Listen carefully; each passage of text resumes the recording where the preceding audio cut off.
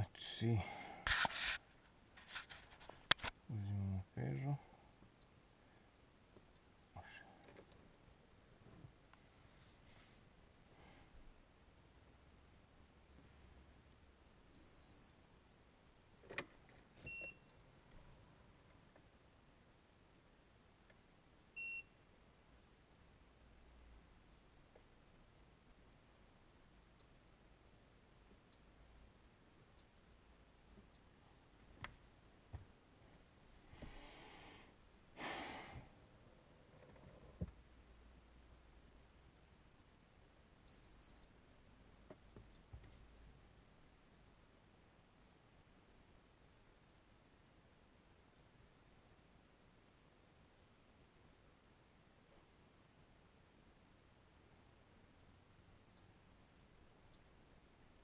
Greški nema.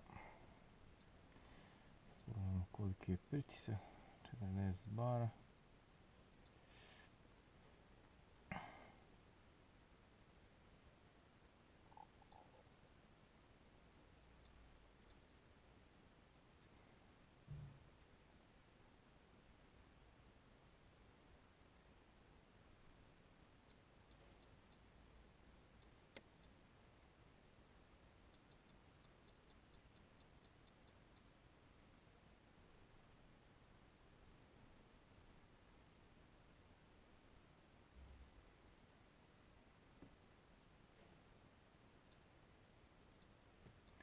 Moramo prvo deaktivirati ekonomi mod. To ćemo u vodi kompjuteru napraviti.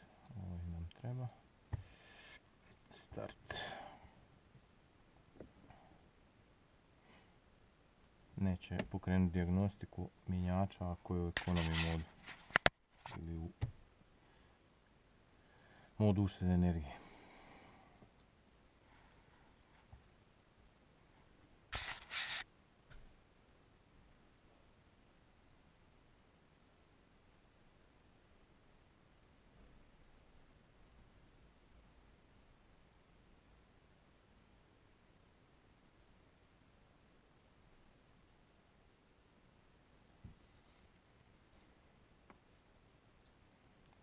Znači, deaktiviranje tog moda. Da. Evo, znači, nije više u ekonomi modu. Znači, idemo na automatski mijenjač. Naš je Marelli.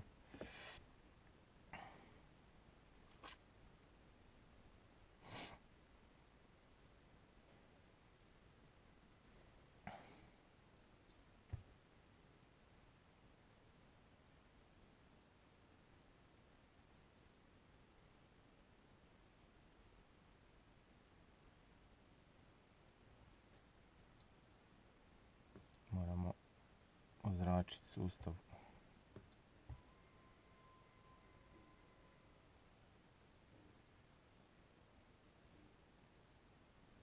Moramo potisni leže ozračiti jer, jer je skidan rezervar. E, to smo ozračili. Znači sad ćemo pogledati pritisak koliki je. 45 bara. Ajde ga tlak ispustimo iz mjenjača.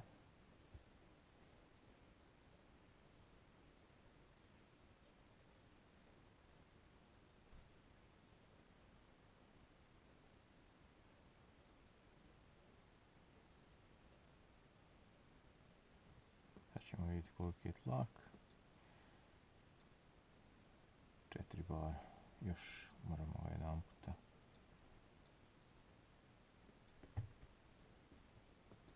Gotovo. Ajmo ga sad pritisak napraviti.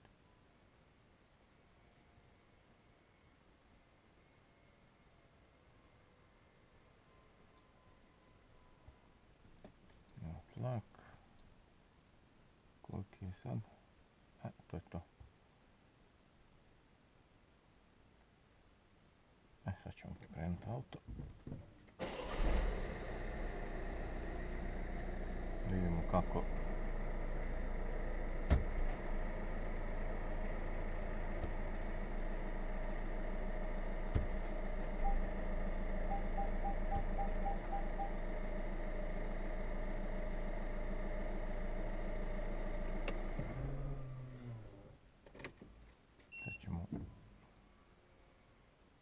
nažalost ostat ćemo u tome.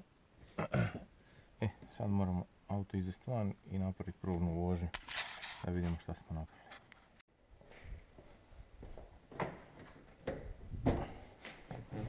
E sad, znači, prvo pokretanje auta s mjesta od kad, znači kad je zamijenjeno kvačilo. Poanta cijele priče je da prilikom kalibracije mjenjača šta ćemo sad raditi. E, zamajac i kvačilo moraju biti na istoj temperaturi kao i motor. Tako da ćemo morati ostaviti auto da radi jedno 20 minuta na mjestu. Znači automatski mod.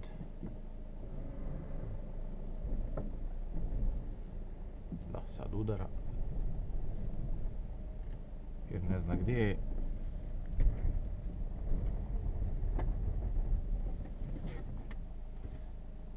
Rikvrc. Da, kvačilo sad radi na pamet. Da. Ćemo ga ostaviti nek radi na mjestu, jedno 20 minuta. Pa ćemo onda ići dalje. Evo ovako, sad je. Sad je kvačilo zagrijano. Ćemo ugasiti krenut kontakt i kaže.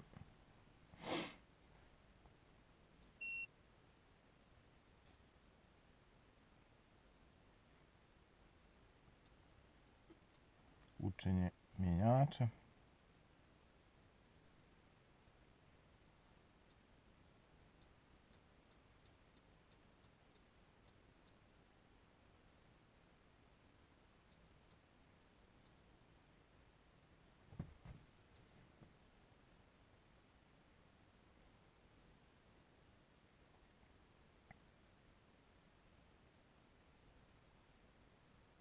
Znači u neutralu je ovdje kaže da mora biti u P, ali ovaj auto P nema kao što se vidi. Ima rikvrc neutral automatik.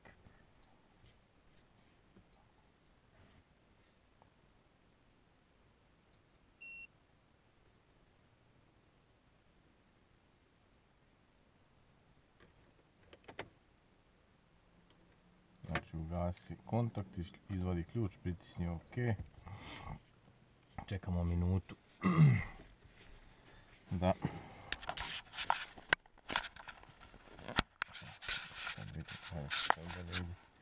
Čekamo minutu da prođe.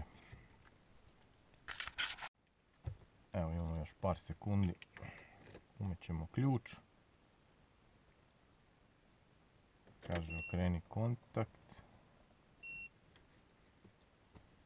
Bez pokretanja motora.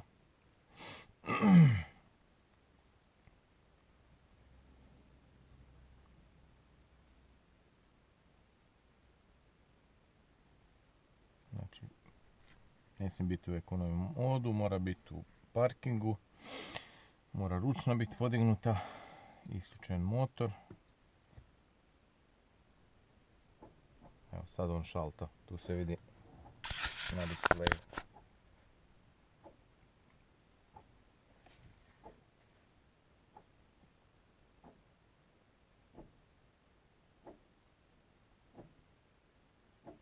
Znači sad određuje gdje se nalazi koja brzina i kalibrira taj dio.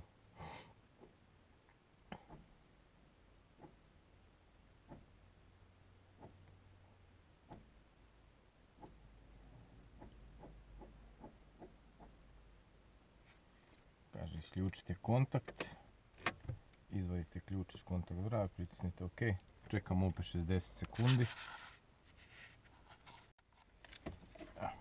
3 sekunde. Uključi kontakt. Bez pokretanja motora. Pokrenite motor. Sad će, znači sad moramo naučiti clutch slipping point, znači točku proklizavanja kvačila, znači baterija mora biti 12,5 volti, vozilo nije u ekonomi modu, neutral ili P, vozilo stoji, motor radi. Stisnemo OK. Evo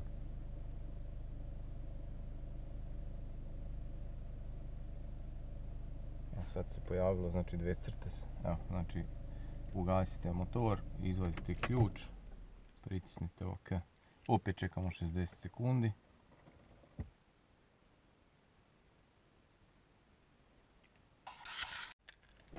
Evo sad ćemo ponovo krenuti kontakt bez pokretanja motora.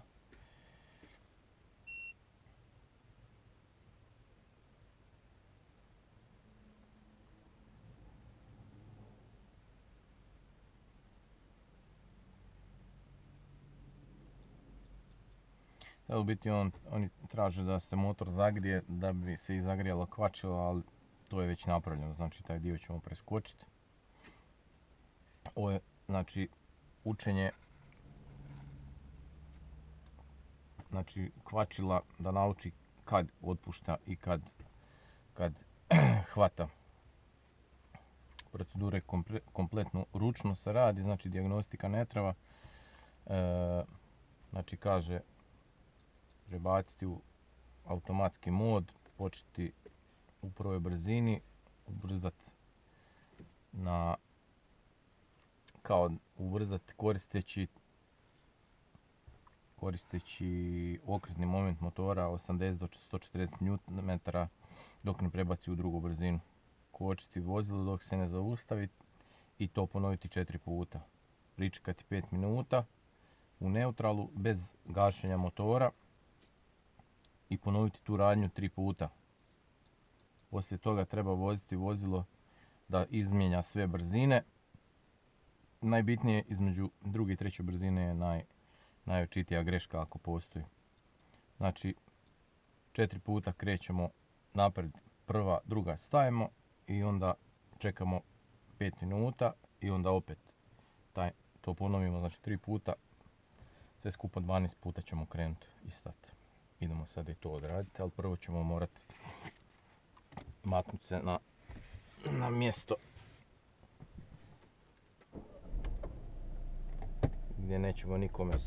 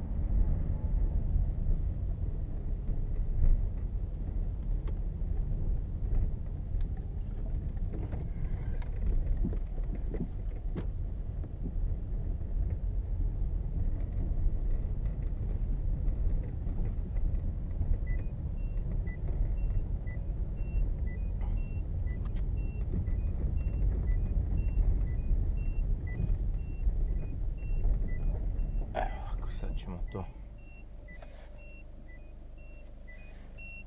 Znači, idemo.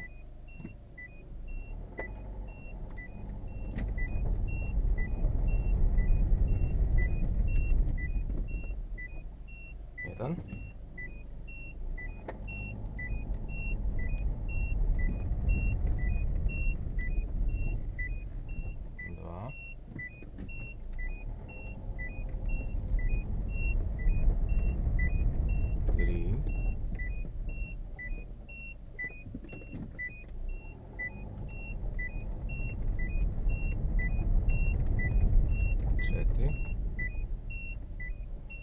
Se ja morat zavezati jer će nas uništiti ovaj zvuk. Evo sad u neutral, uvučemo ručnu. Čekamo 5 minuta. Evo sad smo odradili ovaj dio kalibracije, nisam vam sve htio pokazivati bez veze da gledate jednu te istu. Sad trebamo napraviti probnu vožnju na cesti da izmijenja sve brzine i onda ako sve štima treba vozilo isključiti na 60 sekundi, izvući ključ naravno, da pardon, ode vozilo u sleep mod i nakon toga bi trebalo to sve štimat ako je sve ok. Dakle, idemo napraviti probnu vožnju.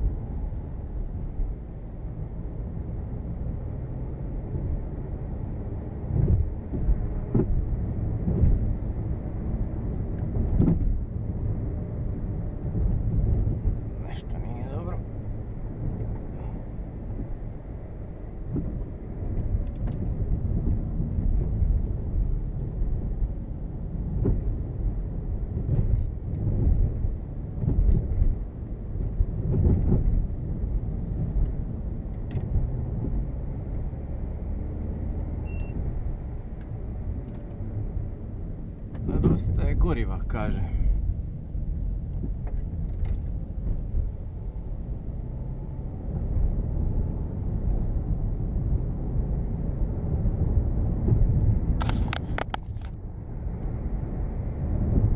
Šesta.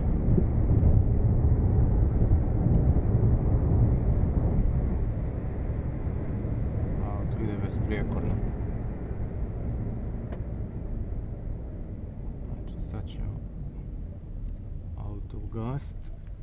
Pričekat ćemo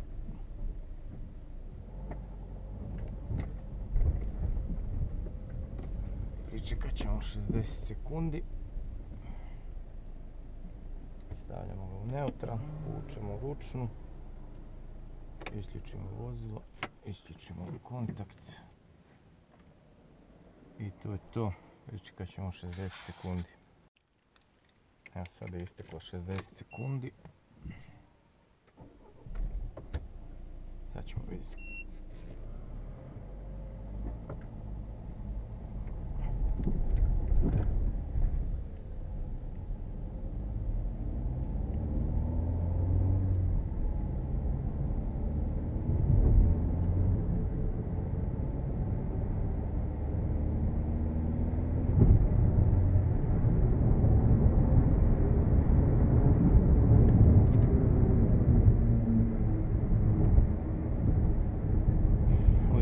Nekih ima po cesti.